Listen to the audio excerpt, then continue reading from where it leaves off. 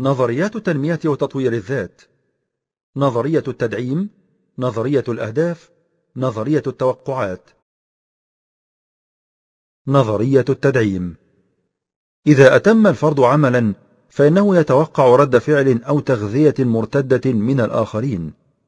فإذا كان رد الفعل إيجابيا فإن الفرد يميل إلى تكرار الفعل بصورة مماثلة وإلى تطويره نحو الأفضل حسب مدى رد الفعل.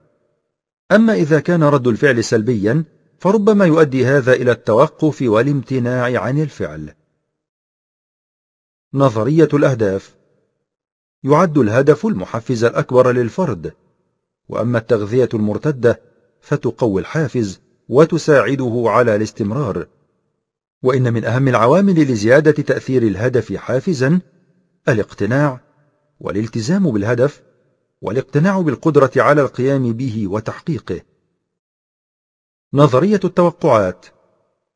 إن الفرد يبذل الجهد متوقعا أن يؤدي ذلك إلى تطوير ذاته وصولا إلى تحسين أدائه أو سلوكه. فإذا تحسن أداؤه أو سلوكه فإنه يتوقع أن يتم تقديره. وإذا تم تقديره فإنه يتوقع أن يشبع هذا التقدير ذاته. حاجاته ورغباته وآماله وتطلعاته وطموحاته.